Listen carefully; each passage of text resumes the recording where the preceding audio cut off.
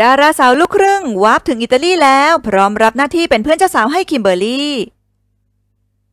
อีกไม่กี่วันเท่านั้นก็จะกลายเป็นคู่บ่าวสาวป้ายแดงกันแล้วสำหรับคู่รัก คิมเบอร์รี่แอนด์วอเทอร์มัส และหมากปริญ สุภารัตน์ที่กำลังจะมีพิธีวิวาห์ในวันที่ 14 กันยายนที่ประเทศอิตาลี กับช่วงเดือนพฤศจิกายนที่จะถึงนี้ล่าสุดทั้งสองได้เกี่ยวก้อยกันเดินทางไปรอแต่งงานที่ประเทศอิตาลี รวมถึงเพื่อนเจ้าสาวอย่างโบเบญจวรรณ อาร์ดเนอร์ ที่ก่อนหน้านี้ก็ได้เดินทางไปเช็คอินอยู่ที่ประเทศอิตาลีเป็นที่เรียบร้อย งานนี้สาวโบก็ได้ขอใช้เวลาดีๆในทริปก่อนที่จะถึงงานแต่งของมาคิม โดยการเดินทางไปเที่ยวยังสถานที่สำคัญดัง ๆ ในประเทศ พร้อมกับเอาภาพสวยๆมาหย่อนให้ดูการผ่านอินสตาแกรมส่วนตัวโบเบนจวันที่ทั้งสวยและดูแฮปปี้มากๆงานนี้รอติดตามความสวยของเพื่อนเจ้าสาวอยู่ทางนี้ด้วยนะคะ อย่าลืมนำภาพมาฝากแฟนๆกันนะคะ